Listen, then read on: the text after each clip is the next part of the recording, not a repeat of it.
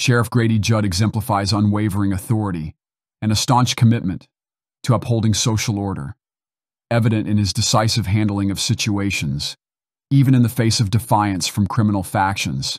See, there's rules about this jacket. The rule is that, well, no one is supposed to touch this jacket. Okay, but the member, you see, no one.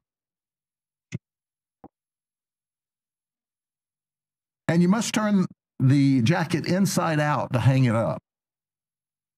We chose not to do that too, why we're not touching it. He said that his wife was going to really be mad. And he used other words. Well, we called her.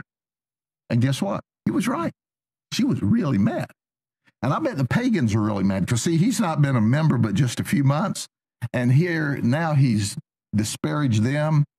And the cops have one of their jackets and they've been handling it. And, you know, we didn't hang it up backwards or any of the other rules that they have. But his actions underscore a firm stance against criminal activities, showcasing a steadfast adherence to the law irrespective of opposition or threats posed by unlawful entities. Emphasizing the significance of accountability and equity in addressing criminal behavior, Sheriff Judd and his law enforcement team have garnered commendation for their effective endeavors in combating human trafficking and apprehending perpetrators of illicit activities. Furthermore, his stance serves as a commentary on societal perceptions of crime and the role of law enforcement therein.